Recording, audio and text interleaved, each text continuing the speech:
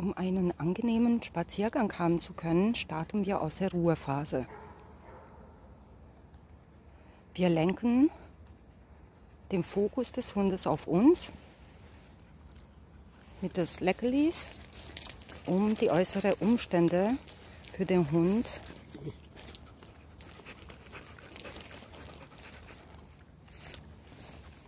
als uninteressant empfinden zu lassen.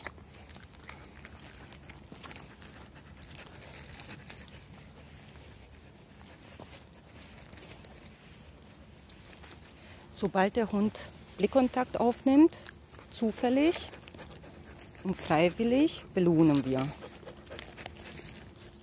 Das ist gleichzeitig Bindungsarbeit im Gelände. Trotz Reize wie Spuren im Wald, andere Hunde in der Nähe, Menschen.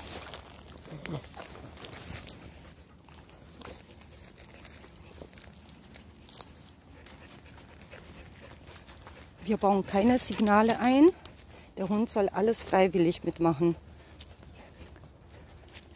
Egal in welche Richtung wir laufen.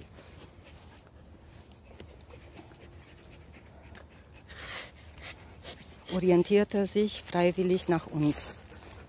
Das ist wichtig als Bindungsarbeit und Orientierungsarbeit für eine spätere Freilaufmöglichkeit, falls die Hunde das natürlich zulassen individuell.